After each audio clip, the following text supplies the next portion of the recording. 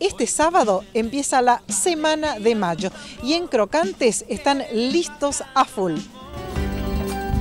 Sí, empezó la semana de mayo y desde, desde acá, de, nuestro lugar de crocantes, ya empezamos a armar, a mostrar a todas las mamás y, las profesores, las maestras que estén armando el acto del 25 de mayo. Le mostramos distintos pasos de, cómo armar un disfraz, de cómo poder decorar eh, el colegio y hemos, le hemos enseñado distintas técnicas que utilizamos aquí en nuestro local pero aquellas que no tuvieron tiempo le esperamos porque ya nosotros hemos armado los, disfraces, los, arreglos de escarapelas, banderas y todos los personajes de la época.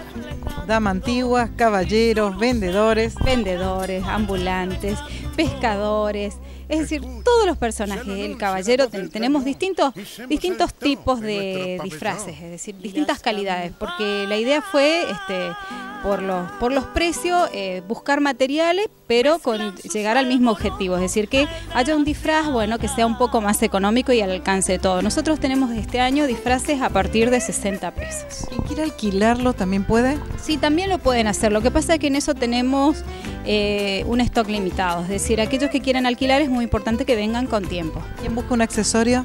Y el, quien busca un accesorio pueden venir, buscar una galera, un bastón, un jabot. Eh, para la dama antigua tenemos peinetas, mantillas.